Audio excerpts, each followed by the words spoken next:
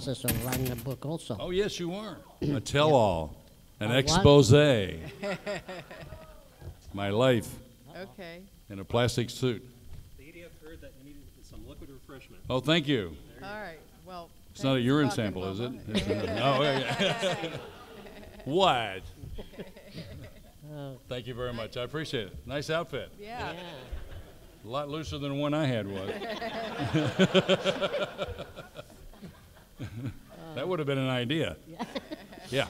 Hi, my name's Eric. Uh, we met. Hi, Eric. yesterday. Erin, first, fantastic to see you on, on the uh, Guild. It's, I love you. that appearance. It's, you know, I've made my wife watch it, and she thinks it's hilarious now too. So oh, good. Good work. Um, I guess I should ask you about your book, Felix. What's that going to be about?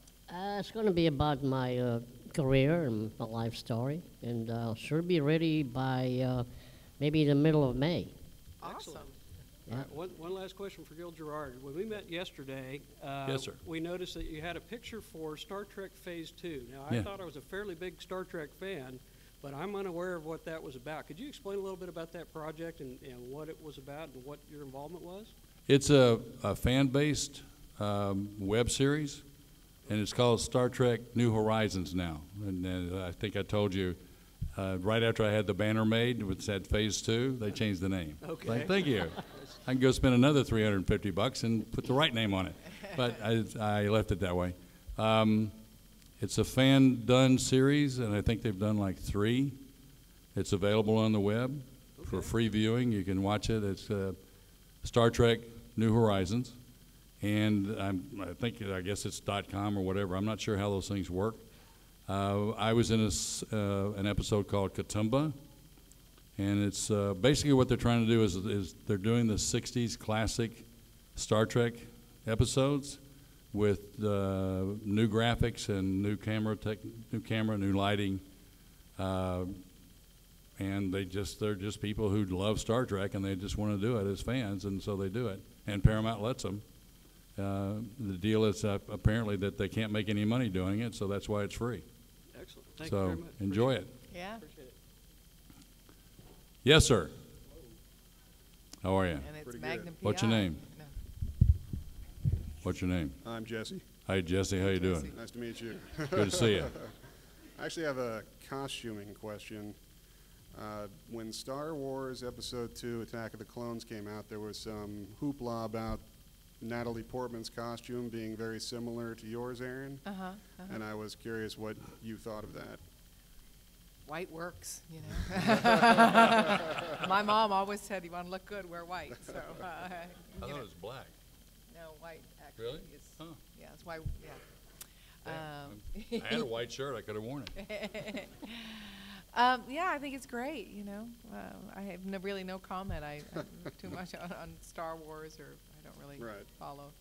And another question is, uh, what are your guys' opinion of uh, sci-fi shows nowadays? I think Do you have any favorites? dark sometimes. I mean, I think one of the things that made our our series work so well is that it there was a sense of lightness and play and fun, and um, sometimes sci-fi for kids can be really frightening. It's more like a horror film when you know the entire universe explodes or something. Yeah. Um, so I can't understand why the future is so dirty and so wet at the same time. you ever notice that? Blade Runner never stopped raining. It's like, how can it be so wet and so dirty at the same time? like these people are slogging through mud their whole lives. It's like Waterworld. I've never seen so many people dirty with so much water around them. And all they do is all they do is fall off the boat and they'd be clean. you know? that's Unbelievable. funny. Thank you. Thank, you. you. Hi there. I'm Randy. Very nice to meet you. How you doing, Randy? To meet you. Uh, what happened to your props and costumes? Props and costumes? Well, I told him to burn mine. Oh no! Well, I did because I really hated my, uh, my only because if you wear a girdle for two years, your entire body compressed. I just I had I'm not prone to headaches or whatever, but those suits really did that to I me. so after, imagine when it was Mm. over, I was like, burn them, burn them. And they wanted to give them to me. I mean, had I known if I'd auctioned them off, I could have put my Yeah. daughter through school, Right. but, you know, Yeah, I was Yeah. offered all of it. He said, "You want whatever you want." I was like, "What am I going to do with that stuff?" Oh. So you want the Starfighter? I why? What am I going to do? Put it in the backyard and charge a quarter for rides? Yeah, What about the robot costume? Put on your, b- you know, Gil, put on your backyard and on bricks, you know. that's true. Once in a while they go and sleep in the Make it a barbecue. The robot costume? I don't know what happened. They made, You n- they made it. five of them, huh? You sold it. You had one.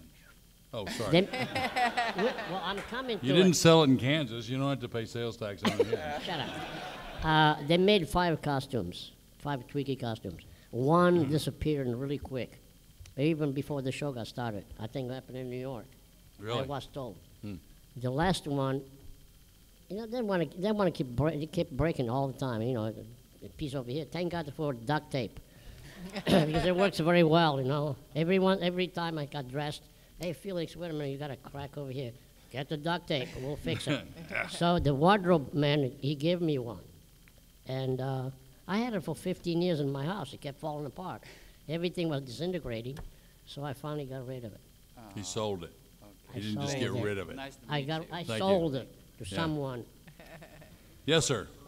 Hi there. My name's Tracy. Hi, Tracy. How you Tracy. doing? Fabulous. Um, this morning, I made my wife sit down and watch the feature just so she could have Ah. a good representation of what she was going to see today. Uh-huh. Really? That's She- your wife? She's That's shaking my her wife head. right there. Did you like it? I loved it. Oh, well, thank you.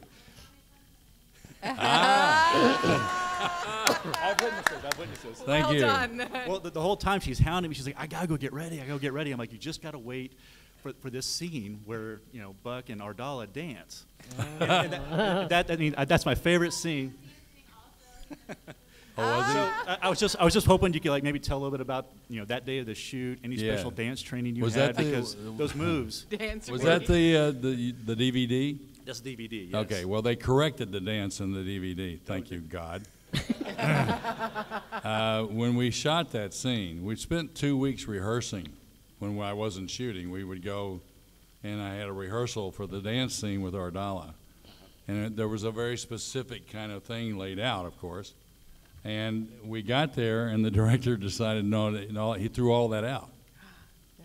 Yes, because he wanted our, he, he, well, I could understand as, from a director's point of view, he was looking at a nightmare of coverage Right. because we were all over the place. And that means, you know, shoot here, shoot here. So he'd be there for five weeks shooting the coverage of the dance. Uh, so what he did was he just wanted the two of us together. So he could shoot basically a two shot, and then he could shoot a single and a single and be done with it. So that changed the entire choreography.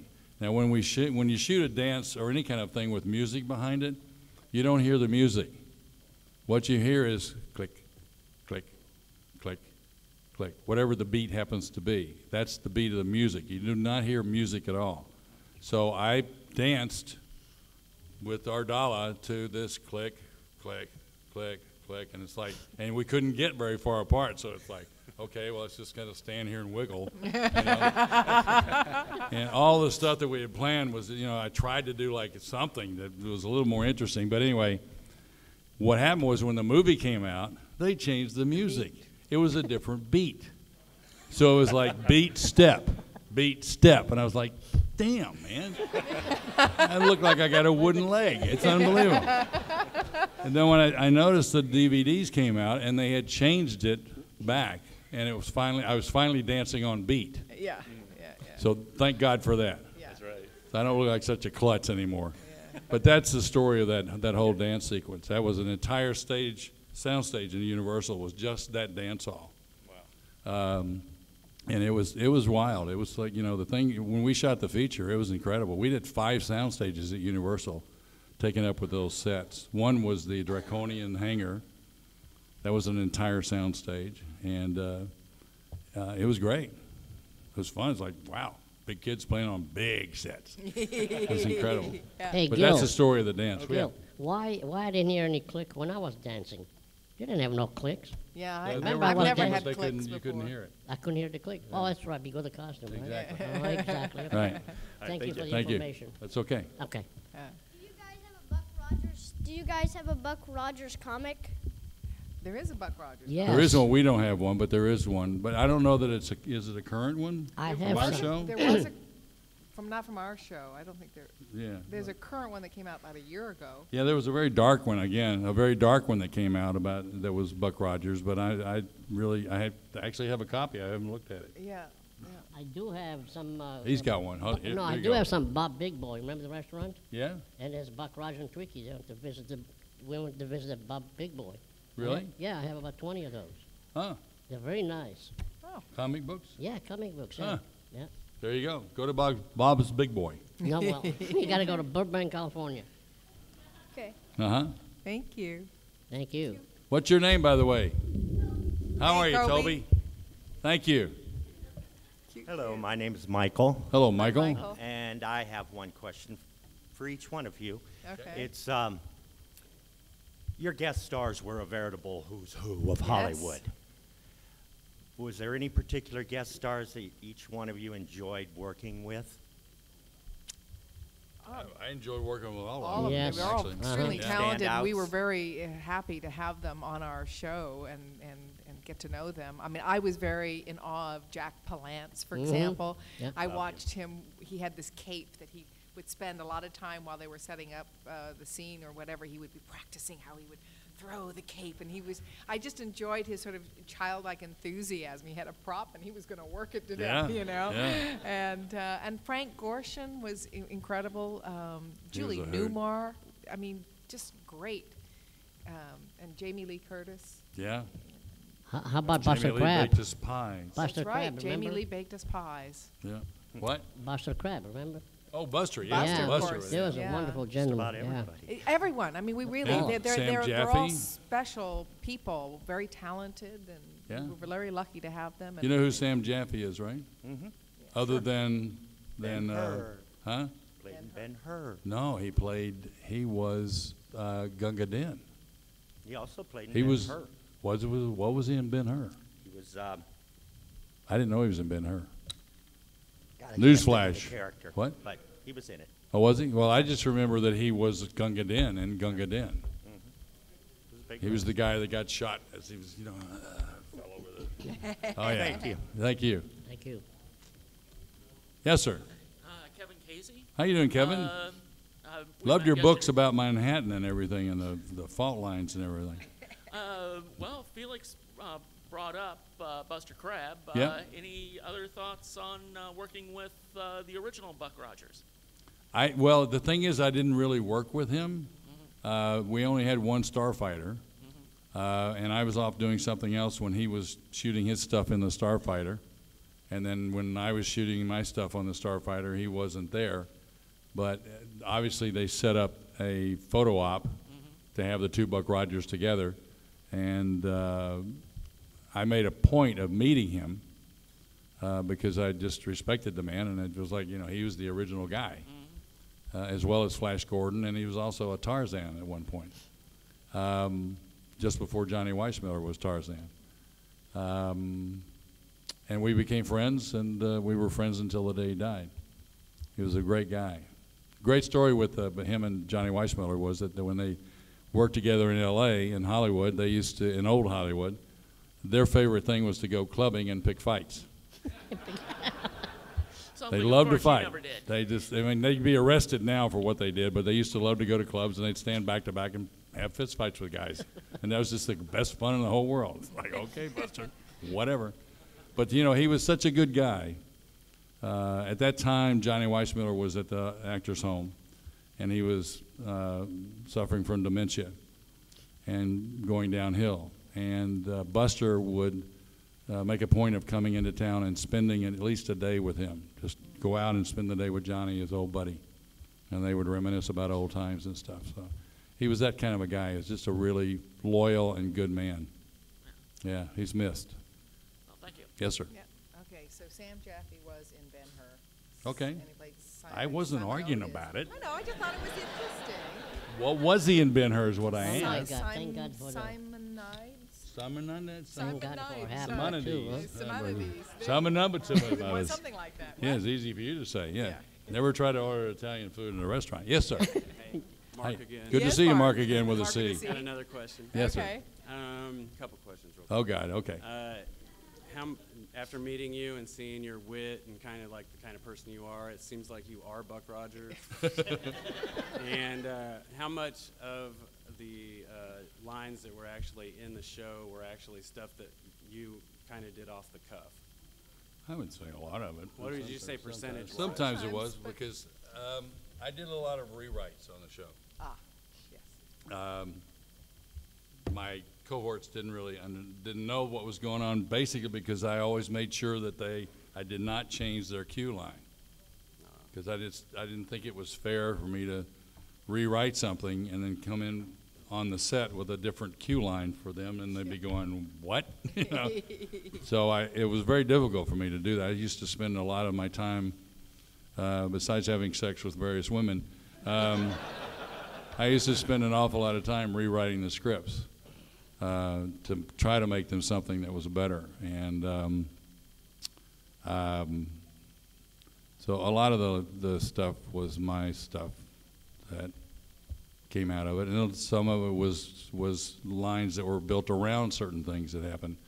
But um, I was always proud of the fact that I could that I could do that and bring it onto the set, and that I didn't throw any of my fellow actors because they were not getting an, either a different idea from me or a different cue line from me. One simple question. Mm-hmm. If they were going to redo the TV show and do it serious and do as good as Battlestar Galactica was remade, Mm-hmm. say they were going to do that much attention to it, who would you like to see play each one of you? And Me. you could probably still play yourself. They have to make a new costume. because I got too fat. Oh. You know, I've, I- Uh, I've been yeah. asked that question a number of times, and I, I never had an answer, but I've been thinking about it. And I, I've decided that Charlene uh, Theron would be. nice. Wow. Charlene, yeah. I just thought, yeah, uh, that's, she's gorgeous and she's Whoa. smart. hey, think big, you Right. know? and- Whoa. Whoa. Okay. well, uh, what young actor would you like to have play Buck Rogers? Me? I said young. Come on. Someone Well, of thank you. coming. You're welcome. I don't know. Come on. What? You have an I idea? Don't know. Oh, sure. You come up here and you expect me to come up with it. You've got to have thought about I don't really know. Who would you I don't like know. to see in It's- that I haven't seen anybody. Well, there was one, the guy who was the lead on on uh, Firefly. And Nathan, Nathan Fillion? Fillion. That's good. That would be good. Yeah. Good choice. All right, Yeah. thank you. And what about you, He's Felix? about the Well, only I one probably I've have ever to play seen. myself who would because there's the- nobody around. You know, I'm the only one He could play it. left. I Hell, he's inside the suit. I mean, you know, make a little bigger suit. little bit and, bigger? Oh yeah, a little bigger. Shoot You it know. Tweaking a wheelchair. That'd be fine. Hey, wheelie. Thank you. Okay. okay. Oh, Wrap it up here with this last question. last question. I didn't say we were done. I like the way he thinks. We're having fun. I am Denny. Hey, how you Uh, doing? Met all you yesterday. Thank you very much for the photos. Yes, thanks for Very- coming very by. Much appreciated. Um, testimony of your Traitor. That Yeah. Was, that was one of my favorite shows. Did you actually get to go to Mount Rushmore? No. Or- no, you didn't. Are you kidding? I barely made it off the lot. it was a big deal when we went to Boron. that was uh, that was Planet of the Slave Girls, I think. Right, that yeah, that we were in Boron, California Yeah, for that. I actually lived there. In Boron? Well, actually, uh, California City. Where? California City. Yeah. It was right next door. Is. Man, I tell you what. Good God, it was hot. Yeah, yeah, Whoa. And I was in that plastic suit. yeah. That's right. David Groh had heat stroke. I know, I mean, he I literally went nuts out in the sun because it was. I mean, I was. We were standing. I had a motorhome with an air conditioner. You weren't up there for that. Lucky you. um, there was. And it was air conditioned, but it was so hot that I didn't want to go inside and then get cool and then walk out and it's about 150 degrees and put that suit back on. So David and I were standing in about this much shade that was kind of coming down from the angle of the sun by our by the motorhome, and we just stand there like, huh, at least it's like maybe five degrees cooler. and I happened to look down, and I saw I had mud on my boots. There was no water, so how did I get mud on my boots? The mud on my boots was from the sweat running out of the bottom of my pants that turned the mud on my the, the dust on my boots to mud. Yep. I was, that's how much I was sweating out there. That's how hot it was. Are And you sure you David- didn't go to the bathroom? What? Are you sure you didn't go to the bathroom? I know. I didn't have to go to the bathroom because I was losing water through every pore I had. Yeah. But uh, David really uh, had a problem. It was it got to got to him, and there was no. The, the the guy that designed it forgot to put any air holes in it, so it was like standing out in the desert in Saran wrap. You know, it was not pleasant, and you know we're out there and we're like you know scouting all this stuff, and we're like burning up in this stuff. But um, Have you ever been to Mount Rushmore? no, I haven't. Shame. Have you? Yeah. Yeah. How was it? Incredible. Did you see me there? No, I wish I had. Well, see? yeah, Thank it's a you very place I wouldn't mind going. I, you know, it's beautiful. Yeah, Thank you very much. thank you. But I've seen the pictures.